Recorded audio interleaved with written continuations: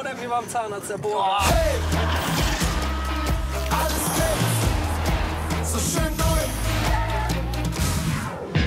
Der kleine Ort Schacht in der Nähe von Kiel. Vor zwei Jahren ändert sich an dieser Straße das Leben des damals 16-jährigen Tobias schlagartig und grundlegend. Ich hatte einen Motorradunfall auf dem Weg von der Schule und dann wohl in der Kurve weggerutscht und dann da auf dem Bordstein dem Baum noch ausgewichen und hier auf dem, an, ein, an einem geparkten Auto hängen geblieben.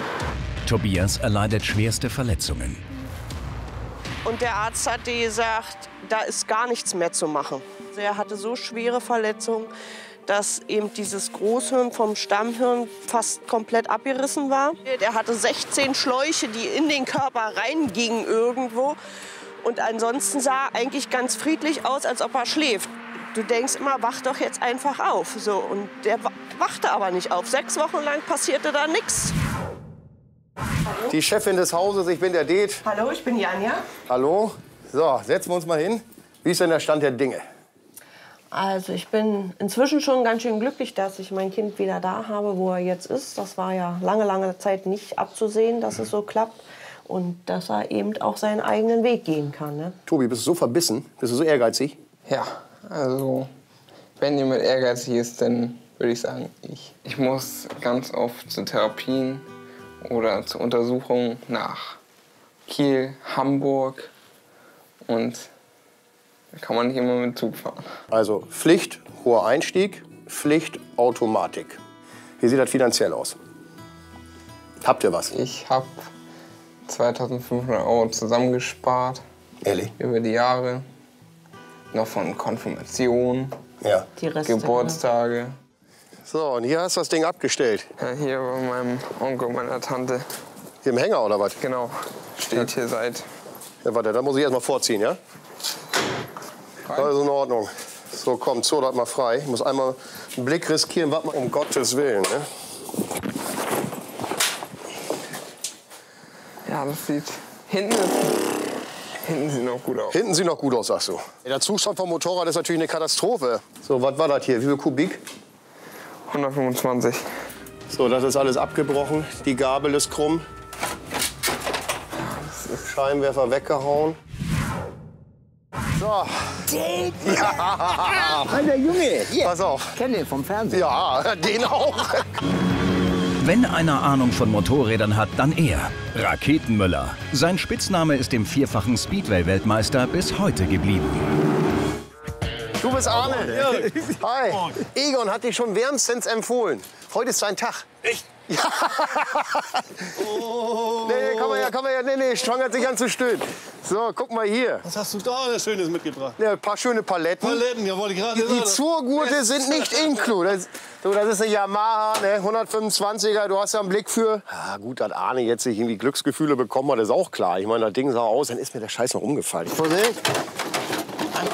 Ja, genau, jetzt. Oh, Mensch, Arne. So, was sagst du dazu? Ja, mach mal. Ist für den äh, Rechtsverkehr. Siehst du das hier? Geht immer da so rechts rum. Ne? Hältst du? Ja. Nicht, dass sie nachher kaputt gehen. Nee, nee, nee, nee, nee. Oh, ein Tackhorn, Rennauspuff dran. Ja, Der du, hat mal richtig Kohle gekostet, aber wenn er verbeult ist, nützt das ja nichts. das ist kein Ding von der Stange. Das ist was Reelles. Willst dich mal raufsetzen hier? Warte, Komm mal her. Setz dich mal rauf. Ihr seid ja, au! So, du, Ihr seid ja alle du kriegst den Arsch auch nicht mehr hoch, wa? So, jetzt hast du Ja, noch ja, noch ja. Das ist ja so, kennst du das so, wie mit der Damenwelt, ne? Der erste Blick ist immer entscheidend. Echt? Wie war dein erstes Gefühl? Mein Herz. Dein Herz? Hast Herz. Pumpe? Ja, jetzt ja. Das Ding hat nicht viel runter. 300 mit Handschlag und du hilfst einem jungen Burschen, wieder in die Gänge zu kommen. Also, hast auch ein Herz, Geil, oder? Arne, geil. Arne, bist ein Bombentyp. Der höher gelegte Golf liegt mit 7500 Euro deutlich über Dates Budget. Allerdings ist der VW auch schon elf Jahre alt und steht schon mehrere Monate zum Verkauf. Det wittert deshalb seine Chance, um den Preis zu drücken. So, Silber, Metallic. Was für ein Baujahr haben wir denn? 2006, Oktober 2006 zugelassen. Okay. Knappe 100.000 Kilometer gelaufen. Aha. Wie viele Leute waren da drauf? Wie viel der Hand? Ein Besitzer kommt Ein- aus erster Hand, von uns damals geliefert Ach so. als Neuwagen. Okay. Gab es hier ein paar Probleme? Ich sehe hier so ein bisschen wird was überge... Ja, ein paar Lackstellen haben wir ausgebessert, beseitigt. Das wollte ich gerade sagen. Das sieht man hier nämlich sofort. Ne? Klar, jetzt hast du hier noch einen Innenkotflügel. Da geht es natürlich um Steinschlag. Aber hier, guck mal selbst. Ja. Hast gesehen? Ja. Da hat er ein bisschen äh, einen Pickel gehabt. Ne? Und dann Genau. war das ausgebessert. Aber er hat keinen Unfall gehabt. Kein Unfall, unfallfrei. Wie gesagt, die Lackstellen, die er hatte, haben wir beseitigt. Okay, also hast du unten rum einmal bis angeduscht. Genau, beide Seiten sogar. Beide Seiten gucke ich mir gleich noch mal an. Bremse ist soweit klar. Ja, das sollte in Ordnung sein, Reifen auch. Und viel tiefer haben wir. Gut. Und hier haben wir den normalen 2 Liter. Diesel, genau. Was hat er, 100? 140 PS, 140. 103 kW, 140 PS. Gut. Sag mal, Zahnriemen, ne? das ist immer so ein leidiges Thema. Kann ich hier irgendwas finden? Hast du irgendwo Waschzettel oder Aufkleber oder wie sieht das aus? Zahnriemenwechsel bei dem Auto alle 150.000 Kilometer. Und da der erst 98.000 Kilometer gelaufen hat, also noch nicht fällig. Komm, haben wir Haben Guthaben, Zeit. finde ich super. Komm, schmeiß an. So, läuft der hart? Nee, das muss so. Kannst mal einmal einschlagen? Man hört aber jault. Ist ja gar nichts. Ist ja top. So, jetzt kann ich hier noch mal schön in die Federn gucken. Langes Federbein. Achsmanschetten auch nicht versaut. Da kommt kein Fett raus. Koppelstange ist stramm. Ich würde gerne mal eine Runde fahren. Ja, sehr gerne. Ja, erster Check, Fahrwerk, Domlager. Da haben Sie gerne Luft drin, Bordsteinkante. Na, hat's genug gemacht? Habe ich nicht gespürt. Das ist schon mal der erste Pluspunkt. Jetzt, wie zieht er durch? Kraftschluss, Lastwechsel, haut das hin? Kein Rucken, kein Zucken. Denn gerade die erste Generation des Doppelkupplungsgetriebes ist wartungsintensiv. Ja, warum sollte man beim DSG-Getriebe oft eine Getriebespülung machen? Ganz klar, weil sich die Filter zusetzen, ne? dann hast du keinen richtigen Kraftschluss. Das heißt, du trittst rein, merkst auch mal ein Rucken, ein verzögertes Zucken und das wird immer schlimmer. Ne? Nicht bei diesem Exemplar. So, was machen wir hier? Du kennst doch mein Problem, ne? Große Autos, kleine Kasse. Ne? Ich würde hier die 7 glatt machen, also 7.000 Euro, dann kannst du mitnehmen. Und sechs glatt kommt für dich nicht in Frage. Auf keinen Fall. Keine Chance. Service neu, TÜV neu, Ja. Garantie ist mit bei, die gebe ich dazu. Ja, da sind wir auch schon bei 6,2. 7. Oh, nee, da, Muss ja aufrechnen, nicht runterrechnen. Ja, aber ne, ne. Ich komme von meinen 6 weg, gehe Richtung 7 hoch und du kommst von 7 weg und gehst Richtung 6. Mensch, du hast doch auch Eier, du machst das auch. Wie viele Jahre machst du das schon? Oh, 17 Jahre. Ja, siehst du, dann weißt du doch. Ja, deswegen kämpfe ich ja gerade. Ja, ich kämpfe ja auch du. gerade. Ich, ich brauche gleich Knieschoner. Ich bin schon ganz unten, du. Ja, genau. Ja? Sag mal Genau. was. Also pass auf, Det. Ich lege mich mal weit aus dem Fenster. 6, 5 und dann machen wir das. Dann kannst du ihn mitnehmen.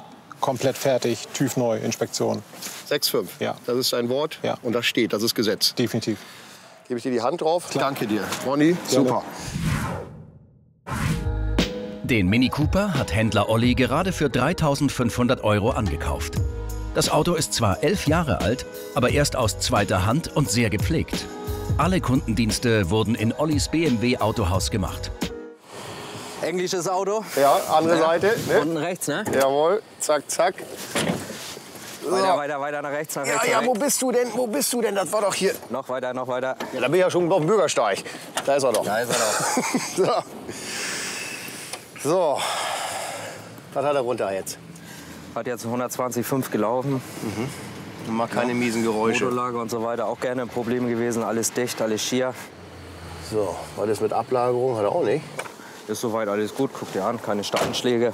Alles soweit Chico, oder? Ich kann dir nicht mehr geben, wenn ich nicht so viel hab. Hast du rote Nummern? Hab ich. Keine Runde um Block fahren. Klar. Det hofft auf der Probefahrt mehr zu erreichen. Wo kann er den Autohändler packen? Kupplung ist schon mal gut. Sehr gut. Durchzug haben wir. Getriebe ist gut. Schaltet. Nicht hakelig. Nicht hakelig. Du weißt Bescheid, du. Bekanntes Problem, Lenkung. Haut hin. Ja, ist exakt. Und vor allen Dingen, du kannst es auch mal so. Spiel mir das Lied vom Tod. Ne? Weißt du? oder wie beim Zahnarzt der Bohrer. Ah, genau, das ist nämlich die Mini-Lenkung. Ne? Die jault und die kreischt und die pfeift. Du. Aber dieser ist gut, du. Verdammte Axt. Folgenden Vorschlag. Motorradfahrer halten ja zusammen. Richtig. Was hältst du davon? Ich gebe dir die Karre hier für zweieinhalb. Aber den TÜV, zwei Jahre, machst du. Sprich noch mal eine 100er on top. Ja, ja, ja, ja. Okay, und jetzt, das finde ich das, das, geil, geil, geil. Super nett. Wenn mir aber der TÜV wegbricht, ohne Plakette, mache ich keine Scheine. Stimmt. Aber der Mini bekommt einen neuen TÜV. Det kann aufatmen. Aber das hier alles, ne? Das wird jetzt dir gehören. Muss ich es zählen oder kann ich jetzt drauf? Ich weiß genau, wie viel Geld ich im Beutel habe. Da kannst du mir vertrauen, du. Ich habe jetzt gute Laune. Eine frische Plakette, einen guten Mini. Det hat in den Mini 2500 und in die neue Plakette 100 Euro investiert. Sein Budget ist auf ganze 200 Euro zusammengeschrumpft. Und auch die Familie war fleißig. Am nächsten Morgen muss der Gebrauchtwagenexperte daher früh ran. Kuchenbacken im großen Stil ist angesagt. So, jetzt heißt das hier aber Frühschicht, ne? Sonne gerade aufgegangen. Super kalt, aber die ersten sind schon immer Loche. Und wie läuft's mit der Würste? Läuft's? Super. Habt ihr auch was vom Pferd? Nein. Nee, Pferd nicht. Jetzt wird nämlich gebacken, ne? Da ist er. Wartest du schon auf mich? Ja. Ausgepennt? Ja, einigermaßen. Hat alles geklappt? Ja. Das ist unsere Bäckerei. Ja, die haben wir. Ja, organisiert? Ja. Super. Und Werbung? Oh, oh, oh, hier, da war er kreativ. Jetzt geht's los. Aktion schlemmen Sie mit, ne? Und wie heißt das immer? Erst backen, dann Essen. richtig. Dann wollen wir mal. Komm. Ganze fünf Meter lang soll er werden. Der längste Sandkuchen Rendsburg soll morgen auf dem Wochenmarkt ordentlich Geld in die Kasse spülen. kannst auch gerne schon mal fünf Eier einschlagen. Ich soll fünf Eier einschlagen, der gibt, das kriege ich hin. Insgesamt wandern mehr als 80 Eier, dreieinhalb Kilo Mehl und fast drei Kilo Zucker in die Rührschüsseln. Hier, wie heißt das? Schneebesen? Ja. Das ist das, was man zu Hause hat, nur halt in groß. Für einen Mixer, ne? Ja. Da kannst du ja, das kannst du ja auch auf der Baustelle benutzen. Im Akkord rühren und mixen Det und Tobi, bevor der Teig in die Kastenformen wandert. Was sagst du? Erster Eindruck, spitze. Zweiter Eindruck, super. Windelblau. Sehr gut. Wieder ein Pulli. Weiter. Kein Service. Platz an der Heckscheibe. Willst du noch Geld für haben? Ja, pass mal auf. So ein Ding, ne, das drückst du hier raus. Auf deinem Händlerplatz hier. Für locker 4,6, 4,8. So schreibst du ihn an. Wegen Dach. Wegen unter 150.000 gelaufen. Wegen zweite Hand erst. Ne? Wegen Top-Optik. ne? Ja, ja, ist so, ist so. Norbert ist ein harter Knochen. Det hat selbst 2600 Euro bezahlt. Sag doch mal, sag doch mal jetzt. So, pass auf. Sonst sage ich einfach mal 3000. Denk nicht mal dran. Okay. Erzähl. 4,6 habe ich im Kopf gehabt, 4,5 bist du dabei. 3,8. Okay, Serviceheft habe ich jetzt gerade nicht gefunden.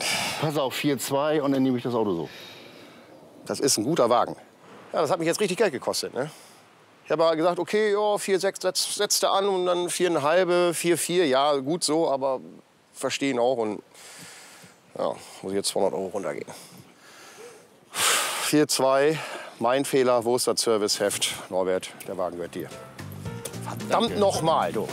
Oh ja, es fehlt noch einiges. Det ist nach dem Verkauf des Mini zwar bei immerhin 4.400 Euro Budget angekommen, der Golf Plus kostet aber 6,5. Der Kuchenverkauf auf dem Wochenmarkt muss also so richtig einschlagen. Da ist sie ja. Gut. Donnerwetter, du. Da Guten hast du aber einen Morgen. gemacht. Ne?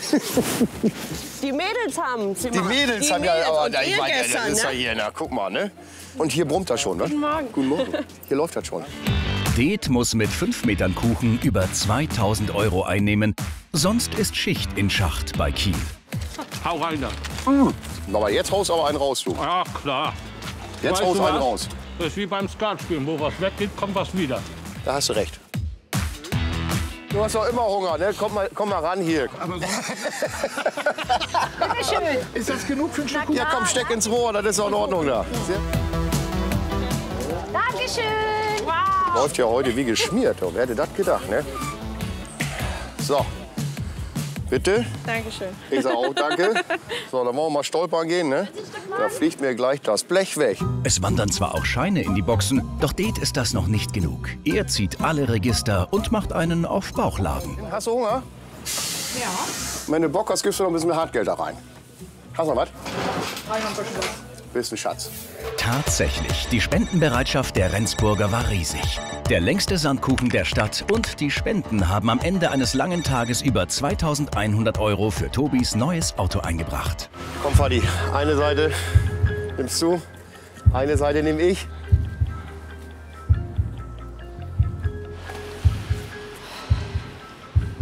Achtung, auf Kommando. Wollen wir? Bist du soweit? Tobi! Ja, komm!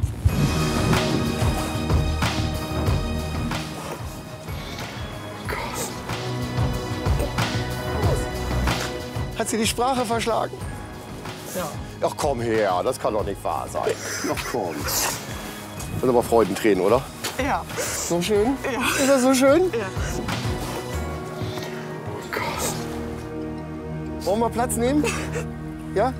Tobi, dein Und Platz. guck mal, was sie noch geschafft haben, Tobias. Das kann ich nicht, ich sehen. Komm her, dein Platz ist auf der Fahrerseite. Ja, das kommt doch alles. Guck mal hier mit dem Einstieg, ne? Damit du es ein bisschen leichter hast. Ja? Passt das?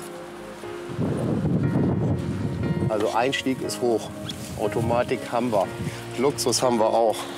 Also ich sag mal so, ne? Das Einzige, was hier noch fehlt, ne? Kannst du den noch im, an den Spiegel machen? Ne? Damit du komplett bist. also Leute, weißt du was? So ein Wimpel muss doch sein zum Glücklichsein, oder? Ja. Ist er jetzt komplett? Jetzt er Bist du glücklich? Ja. Ja, so wollte ich dich hören. Das freut mich auch, du.